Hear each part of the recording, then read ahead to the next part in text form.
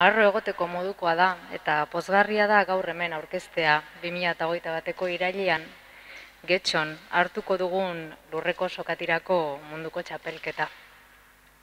Covidak eragindako osasun larrialdiaren inguruan hilabete hauetan jaso den guztia ez balin gertatu, ba, gure udalerrian dena prest izango genuke gaur maila honetako sokatira bezalako ospakizun bat jasotzeko eta ospatzeko.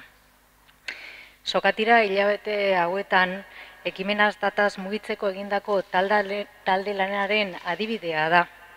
Gure kirolonek erakusten digunez tematia gara eta norabide berean egiten dugu indarrak ez beharrak gainditzeko. Hori dela eta lanean jarraitzen dugu. Eusko Jaularitzarekin, Bizkaiko Furu Alderdiarekin eta Euskal Herriko eta Nazioarteko Federazioarekin batera getxo mundialaren estenatoki izan dadin. Eskerrak eman nahi dizkiet beraz, erronka hau partekatzeagatik dugun kirol erakunde guztiei eta baita entitate publikoei ere bai.